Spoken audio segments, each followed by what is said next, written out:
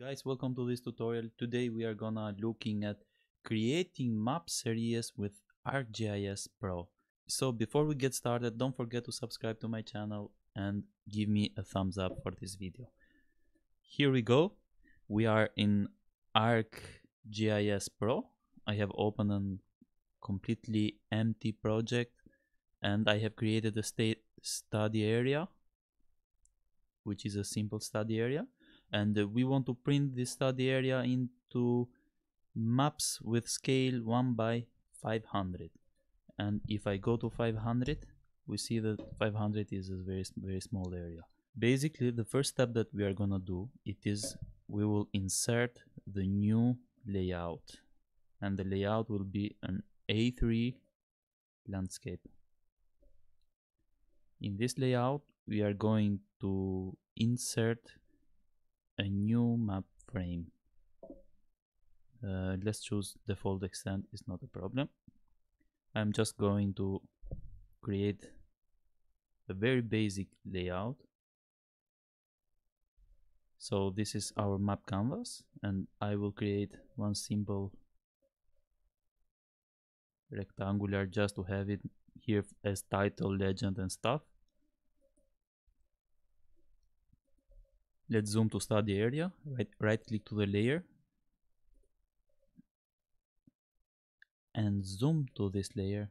So we have this study area that we want to print this in scale 500 so if I switch the scale into 500 we will see that we cannot print this this uh, area into a single map. So this means that we need several frames, several maps for this. And for doing this, we have one option here which is called map series. But firstly, firstly to to activate this option, we need we need an index layer. So we need to split this area into smaller pieces. For doing that, we are going to open the toolboxes or geo-processing and we go to cartography map series. We have one grid index features.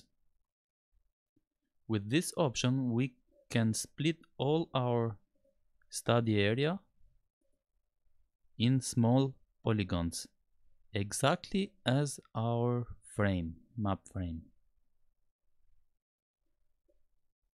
Now, as an input feature, we are going to select the study area or just drag and drop from here to here, study area. We are going to save this layer somewhere. I'm choosing desktop.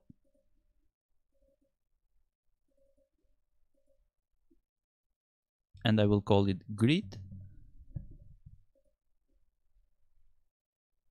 now this is the trick. So here we have the dimension. Uh, firstly we we switch the dimension from decimal degrees into inch. And we choose as to use as a page unit and scale to use this scale that we choose here. So basically it got automatically this scale but we want 500 as we discussed. So I am just modifying this in 500 if you see once I choose on once I choose use page unit and scale it automatically got also the unit of this map canvas. So we have 20.55 and 12.99 to double check it we can right click to the map canvas and we choose properties we see that these numbers are exactly as this number. So if in your case, for any reason, this number may be different, just choose properties and copy and paste this number here. Just be sure that you are using the same unit, inch with inch. And we are gonna leave everything else default. It shows us how many maps is it, it how many indexes is going to generate and here we go. So let's switch to map. Let's switch to map to see what's going on. And let's change the color of this layer. So basically ArcGIS has automatically covered our area with this index layer. So now we are going to connect each index into a single map. So for doing that, we right click to our layout and we switch to map series. We see that this option is enabled and we have to open the drop down list and we choose spatial map series. Now we specify the layer that we want to create a map series, which is the grid that we already prepared. As a field name, it is automatically chosen the page name and the page number as a sort. We can have the page number or the page name. And we are ready to generate our map series, but we will see the map extend what does the map extend means. So the map extends here, it is chosen best fit extend and 10%. This means that this will leave a 10% gap between each map. And if we want a fixed map, the, we we can choose center and, main, and maintain the scale. So firstly, let's choose the, the first option and let's see what's going on. Okay. Now we will see that our series are generated. So we can see there are several series. If we switch to series 2 it is this one. And uh, let's let's open also the label to see what's going on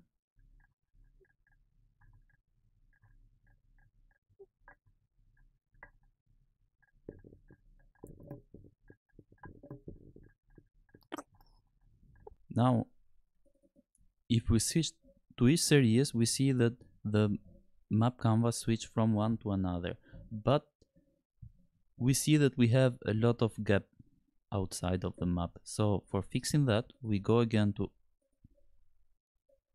to map series and we choose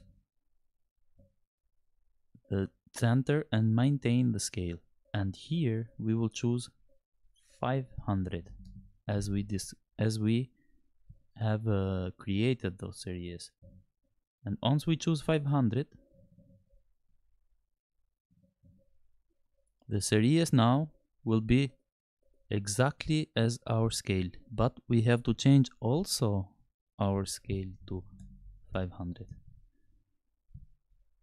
so now our series are exactly as this frame and now the export so we will we will switch to share export the layout. In the end of uh, this menu we have map series. So we can choose any just one map or two or three or we can choose the current map which is a number nine or all is always used. And uh, we can use as a single PDF file or as a multiple PDF file. I will uh, I will choose a multiple PDF file, and uh, here we can uh, we will choose the path, our project path.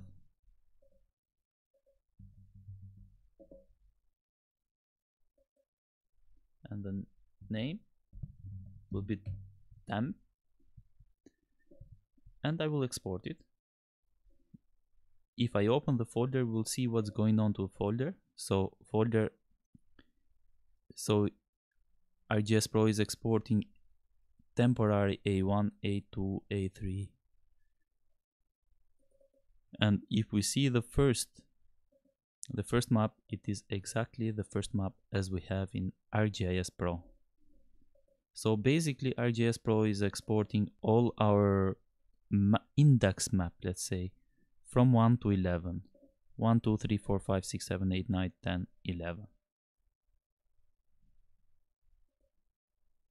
And this process is done automatically, completely automatically by ArcGIS Pro.